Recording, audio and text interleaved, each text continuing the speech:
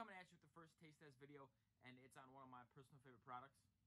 Myoblox Skywalk. So, Skywalk, long story short, it's a nootropic. It's going to help you focus. You can use this as an energy drink replacement um, or just as any time throughout the day caffeine. Uh, so, it has 200 milligrams of caffeine. It also has 1500 milligrams of tyrosine, which is a really good amino acid. It's going to help you focus. And then alpha GPC at 400 milligrams, which is also going to make you focus.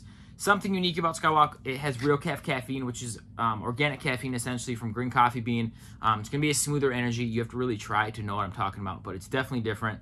Um, and the new flavor is Red Wave. I was thinking when this came out, I was like, what's Red Wave? What is it supposed to taste like? I have no idea.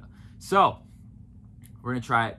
Um, I heard it being compared to Red Bull, and I really hope it's not the case because I'm not a fan of Red Bull. I think it tastes disgusting. So hopefully they made it different. But again, just in a bottle, you can see mix up pretty well. It mixes up clear because they don't use any artificial colors. So um, I'm gonna stop talking. I'm gonna try it, see what it tastes like.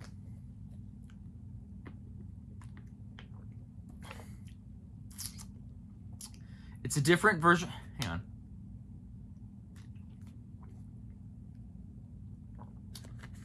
Okay, so I see definitely compared to Red Bull, but it does not. It tastes like a lot better than Red Bull. It's kind of like a uh, berry, almost kind of like a red berry um, flavor. So it's good. Um, again, I'm glad it does not taste close to Red Bull. Um, it's close to know that it's compared to Red Bull, but it's not like Red Bull because it Red Bull tastes like it just doesn't it does not taste good to me. So Skywalk, Red Wave, tastes delicious.